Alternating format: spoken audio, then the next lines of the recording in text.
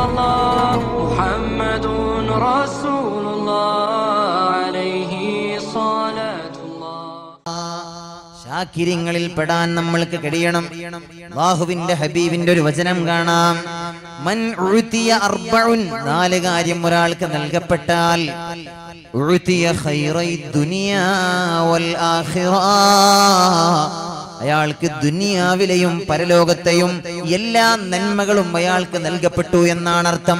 ഇഹപര വിജയം അയാൾക്ക് സുനിശ്ചിതമാണ്. നാല് കാര്യം ഒരാൾക്ക് നൽകപ്പെട്ടാൽ. ഒന്ന് നന്ദിയുള്ള ഹൃദയമാണ്. നന്ദി ബോധമുള്ള ഹൃദയമാണ്. മറ്റൊന്ന് ഒലിസാനും ചൊല്ലുന്ന നാവാണ്. അലൽ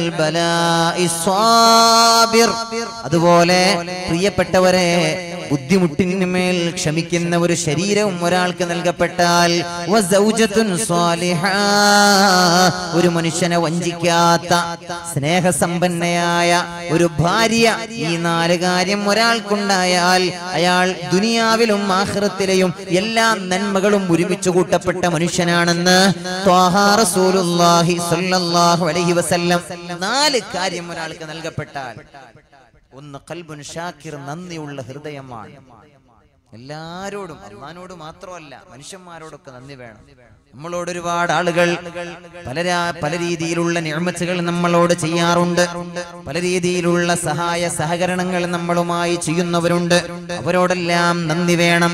അത് കുടുംബങ്ങളിലുള്ളവരായാലും അയൽപക്കങ്ങളിലുള്ളവരായാലും ബാഹുവിന്റെ ഹബീബായ നബിത്തങ്ങൾ പഠിപ്പിക്കുന്നുണ്ട്. ലം ജനങ്ങളോട് നന്ദി ചെയ്യാത്തവൻ ലം യഷ്കുരില്ല. അവനൊരിക്കലും അള്ളാഹുവിനോട് നന്ദിയുള്ളവനാകൂല. ജനങ്ങളോട് നന്ദിയില്ലാത്തവൻ നന്ദി ബോധമുള്ളവനാകണം. ആദ്യം മനുഷ്യന്മാരോട് നന്ദി വേണം. അല്ലേ? ജനങ്ങളോടൊക്കെ നന്ദി ചെയ്യുന്നവനാകണം. ഏതെല്ലാം അർത്ഥത്തിൽ നമ്മളെ സഹായിക്കാറുണ്ട് പലരും പക്ഷെ അതൊക്കെ നമ്മൾ മറന്നു കളയും. ഒരു പൊതുവേ മനുഷ്യൻ അങ്ങനെയാണ്. അള്ളാഹുവിന്റെ പരിശുദ്ധ ദീൻ പഠിപ്പിക്കുന്നത് മഹാന്മാര് പഠിപ്പിക്കുന്നത് നമ്മൾ ആർക്കെങ്കിലും എന്തെങ്കിലും ഒരു അനുഗ്രഹം ഒരു സഹായം ചെയ്തു കൊടുത്താൽ നമ്മൾ ഒരിക്കലും അതിനെ ഓർത്തു വെക്കരുത് എന്നാണ്. നമ്മൾ ഒരിക്കലും അതിനെ ഓർത്തു വെക്കരുത്. എന്നാൽ മറ്റൊരാൾ നമ്മൾക്കൊരു സഹായം ചെയ്താൽ അത് എത്ര ചെറിയ സഹായമാണെങ്കിലും എപ്പോഴും നമ്മൾ അത് ഓർത്തുകൊണ്ടേയിരിക്കണം. ഒരു കാലത്തും അത് മറക്കാൻ പാടില്ല എന്നാണ്. എന്നാൽ നമ്മളൊക്കെ നേരെ തിരിച്ചാണ്. നമ്മൾ ആർക്കെങ്കിലും എന്തെങ്കിലും ഒരു കാര്യം ചെയ്തു കൊടുത്തിട്ടുണ്ടെങ്കിൽ അതെപ്പോഴും നമ്മുടെ കൽബിൽ ഉണ്ടാകുമെന്ന് മാത്രമല്ല ഏതെങ്കിലും ഘട്ടത്തിൽ നമ്മളത് വിളിച്ചു പറയുകയും ചെയ്യും. അവൻ ഇന്ന് വിലസി നടക്കുന്നുണ്ടല്ലോ. അന്ന് ഞാനാണ് അവൻ അത് ചെയ്തു കൊടുത്തത്. അന്ന് അവന് വിസയിട്ട് കൊടുത്തത് ഞാനാണ്. അന്ന് അവൻ ആ- സൗകര്യം ഒരുക്കി കൊടുത്തത്. ആ കച്ചവടം തുടങ്ങാൻ അവനെ സഹായിച്ചത്. അവന് താങ്ങും തണലുമായൊക്കെ നിന്നത് ഞാനാണ്. ഇന്ന് അവൻ എന്നെ മറന്നുപോയി എന്നൊക്കെ നമ്മൾ പറയാറുണ്ട് പ്രിയപ്പെട്ടവരെ. എന്നാൽ നമ്മൾക്ക് ആരെങ്കിലും ചെയ്ത ഉപകാരങ്ങളോ ഒരു കാലത്തും നമ്മൾ ഓർത്തെടുക്കാറുമില്ല. അവരുടെ കുറ്റങ്ങളും കുറവുകളും അവർ നമ്മൾക്ക് അത് ചെയ്തു തന്നില്ല ഇത് ചെയ്തു തന്നില്ല എന്ന പരാതികളല്ലാതെ നമ്മുടെ ഭാഗത്ത് നിന്ന് പലപ്പോഴും ഉണ്ടാകാറില്ല. അതുകൊണ്ട് മിനിങ്ങളായി നമ്മൾ ശ്രദ്ധിക്കണം. കൽബുൻ നന്ദി ബോധമുള്ള ഹൃദയം അത് വളരെ പ്രധാനമാണ്. ഒരാൾക്ക് അല്ലാഹു അത് നൽകിയാൽ ഒരാൾക്ക് അല്ലാഹു അത് നൽകപ്പെട്ടാൽ ഇഹപര വിജയങ്ങളിൽ വളരെ പ്രധാനമായ ഒരു ഭാഗമാണ് അതിലൂടെ അവന് ലഭിക്കുന്നത് എന്ന് റസൂലുള്ളാഹി സ്വല്ലല്ലാഹു അലൈഹി വസല്ലം മറ്റൊന്ന് ദിക്ർ ചൊല്ലുന്ന നാവ്. ദിക്ർ ചൊല്ലുന്ന നാവാണ് മറ്റൊന്ന്. അള്ളാഹുവിന് ദിക്ര ചൊല്ലുന്ന നാവ്. മിനിങ്ങളെ അതൊന്നും എന്റെ വിഷയത്തിന്റെ ഭാഗമല്ലാത്തത് കൊണ്ട് വിശാലമായി ആ ഭാഗം പരാമർശിക്കാൻ ഞാൻ ആഗ്രഹിക്കുന്നില്ല.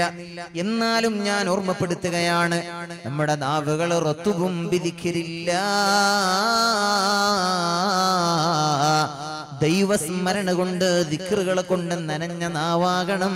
ദിക്കർ ചൊല്ലുന്ന നാവാകണം നമ്മുടെ നാവ്. അള്ളാഹു നാവ് തന്നത് അതിനാണ്. ഒരാളുടെ സംസാരം അധികരിച്ചാൽ അയാളുടെ ദോഷങ്ങൾ അധികരിക്കുമെന്ന് മുഹമ്മദ് മുസ്തഫ സംസാരം പരമാവധി കുറയ്ക്കാൻ നമ്മൾക്ക് കഴിയണം. അള്ളാഹു തൗഫീക്ക് നൽകട്ടെ. കളി തമാശകളൊന്നും തീരെ വേണ്ടെന്നല്ല പറയുന്നത്. തമാശകൾ അനിവാര്യമാണ്.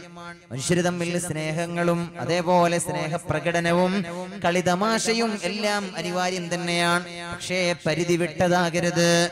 പരിധി വിടാൻ പാടില്ല. ബാഹുവിന്റെ ഹബീബ് അതാണ് പഠിപ്പിച്ചത്. സംസാരം അധികരിച്ചാൽ അവന്റെ ദോഷങ്ങൾ അധികരിക്കാനിടയുണ്ട്. നാവ് വളരെ പ്രധാനപ്പെട്ട അവയവമാണ്. നാവിനെ ഒരാൾ സൂക്ഷിച്ചാൽ റസൂലുള്ളാഹി തങ്ങൾ പറഞ്ഞല്ലോ. രണ്ട് കാര്യം ഒരാൾ സൂക്ഷിച്ചാൽ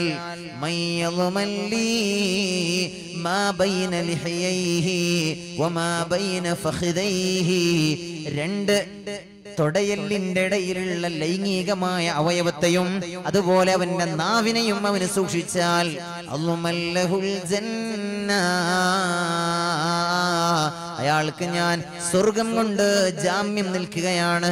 അയാൾക്ക് സ്വർഗം ലഭിക്കുമെന്ന് ഞാൻ വാക്ക് തരികയാണെന്ന് മുഹമ്മദ് അതുകൊണ്ട് അള്ളാഹു തന്ന നാവ് അത് അവന് ദിക്ർ ചൊല്ലാനുള്ളതാണ്.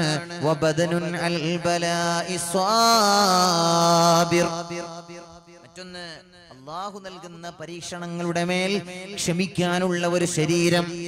പ്രിയപ്പെട്ടവരെ അതും അള്ളാഹു ചെയ്യുന്ന വലിയ നിഅമത്താണ്. മഹാനായ സയ്യിദുന അയ്യൂബ് നബി അലൈഹി അള്ളാഹു നൽകിയ വലിയ നിഅമത്താണത്. പ്രിയപ്പെട്ടവരെ ക്ഷമയുടെ പര്യായ പദമാണ് മഹാനായ അയ്യൂബ് നബി അലിഹി സ്വലാത്തു വസ്സലാം. ശരീരമാസകലം പുഴുക്കൾ അഴിച്ചു പറക്കുകയാണ്. ശരീരമാസകലം പുഴുക്കളെ കാർന്നു തിന്നുമ്പോഴും അള്ളാഹുവിനോട് പരാതി പറയാത്ത പ്രവാചകനാണ് മഹാനായ അയ്യൂബ് നബി അലൈഹി സ്വലാത്തു വസ്സലാം അവസാനം തന്റെ നാവിലേക്ക് അള്ളാഹുവിന് ദിക്ർ ചൊല്ലുന്നതിന് തടസ്സം വന്നപ്പോഴാണ് തന്റെ നാവിലേക്ക് പുഴുക്കൾ കയറാൻ തുടങ്ങിയപ്പോഴാണ് അള്ളാഹുവിനോട് അയ്യൂബ് നബി വിളിച്ചു പറഞ്ഞത് റബ്ബി ഇന്നി. എനിക്ക് ചെറിയൊരു പ്രയാസം വന്നിട്ടുണ്ട് റബ്ബേ. നാദാ എനിക്ക് ചെറിയൊരു ബുദ്ധിമുട്ട് വന്നിട്ടുണ്ട്. അള്ളാഹുവേ നീ കരുണാമയനാണല്ലോ റബ്ബേ. നീ എന്നോട് കരുണ ചെയ്യണമേ എന്ന് ദുആ ചെയ്തത്.